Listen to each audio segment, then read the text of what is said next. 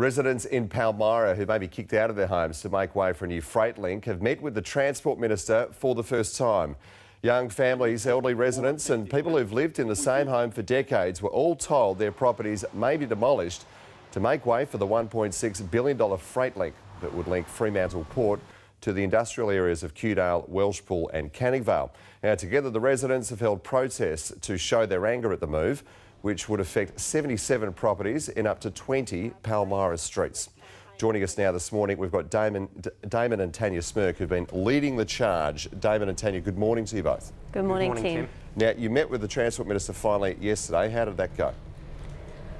Um, yes, look, we, we, really welcomed the opportunity to actually meet with the Transport Minister, um, so that was good. There was a, a delegation of eight Palmyra residents from, uh, from two streets in Palmyra that uh, sat down and met with the Minister. Uh, we are all a little bit disappointed that it took um, us to be making a lot of noise through the media to actually uh, achieve uh, a meeting with the Minister and, uh, and Main Roads. How would you gauge the mood amongst the group of residents that this would affect? Is there a feeling of inevitability about this? I think there still is a feeling of, uh, of inevitability um, because the only other option that's been put on the table, and the Minister was very adamant that uh, he really wants to push the tunnel option.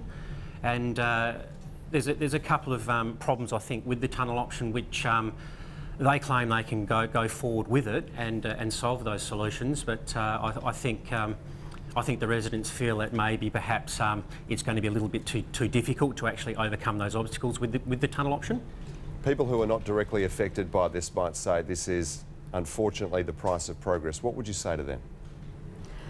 Um, until you're actually in the position where someone says we are going to take you home, you really don't understand how dramatic it is and how morally crushing it is to have your whole family ripped apart like this, to have to leave the family home of 18 years and the people that you live with, our neighbours are like family, and to have that taken away, it is really crushing. And I know the whole of Palmyra stands with us. They don't want this to go through because it will affect our whole community.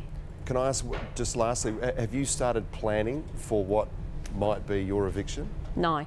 No. Not at all. We basically have to plan to finish the renovation of our home first. So that's our main concern. We're we don't even want to think that we're going to lose our home at the moment. We, we have got a little bit of hope, um, which we have to, but uh, our main concern at the moment is keeping our family together, getting mm. on with our daily lives and finishing our renovation.